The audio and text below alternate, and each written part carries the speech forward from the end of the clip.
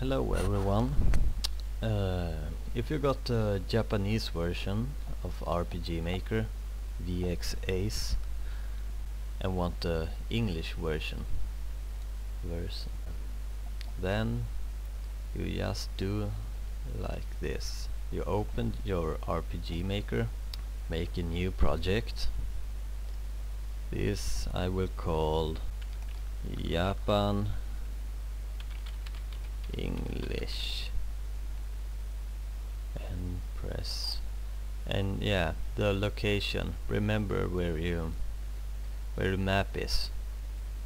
Press OK. Uh, now if I start the game. So to fix that you just close it. And I will upload this one. The da data files. You go to where you save the game. I saved it here. Japan English data. I paste it. Yes. Do this for all of them copy and replace. Let's start it now. English.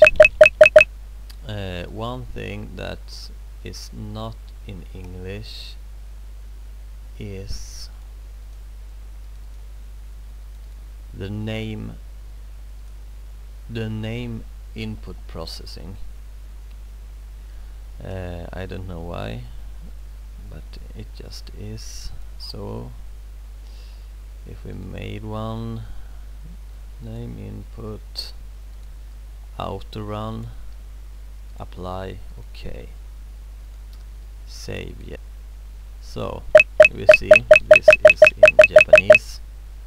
Uh, I have fixed that too. Um, I just did some changes in the script and it's this one.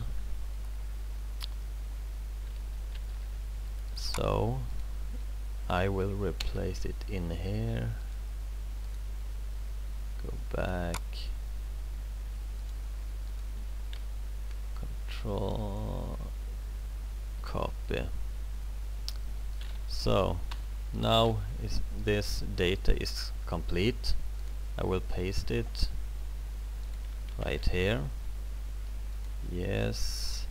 Copy and replace. I will open my RPG maker. Once again. Now name input processing. OK auto run. Apply.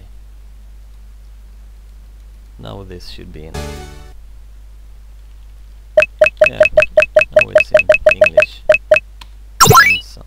other languages.